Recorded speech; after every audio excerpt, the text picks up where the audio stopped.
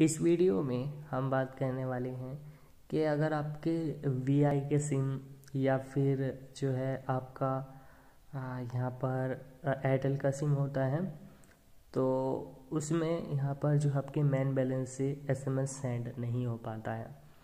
तो क्या प्रॉब्लम आ रही है इसमें, ये मैं आपको बताने वाला हूँ तो वीडियो को आप पूरा ज़रूर देखिएगा।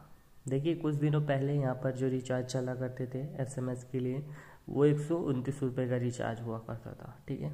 एक सौ उनतीस रुपये का। लेकिन उसकी जो है, पैसे बढ़ाकर उसे ज़्यादा कर दिया गया है अभी फ़िलहाल। उसे जो है, डेढ़ सौ से ऊपर कर दिया गया है। लाइक यहाँ पर मैं अपने पेटीएम अपने फ़ोन पे को खोल कर आपको रिचार्ज दिखाता हूँ तो उसमें ज़्यादा बढ़ा हुआ मिलेगा। तो आप देख लीजिए फिर भी एक बार, जिससे कि आपको पता लग जाए, क्योंकि मेन बैलेंस जब एसएमएस नहीं जाता है, उसके लिए आपको अलग से रिचार्ज करवाना पड़ता है। तो अगर आप मैन बैलेंस से सोच रहे हैं कि एसएमएस चला जाएगा तो ये जो है ऐसा नहीं होगा।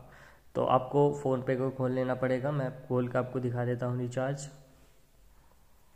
तो आप यहाँ पर वी पर देख सकते हैं। यहाँ पर वन सेवन नाइन का ये रिचार्ज है, इस पर मैंने चेक करा तो इससे कम का नहीं है और एयरटेल पर भी हम बात कर ले यहाँ पर भी आप देख सकते हैं, एक सौ पचपन रुपये का रिचार्ज है यहाँ पर, जो कि यहाँ पर सबसे कम है।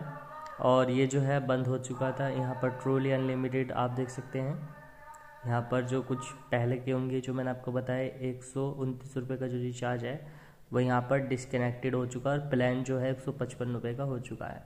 तो आप जो है अपने एयरटेल के सिम में एक सौ पचपन रुपये से ऊपर का रिचार्ज करवा से करवाएँगे तो तब आपको एस एम एस पैक मिल जाएगा।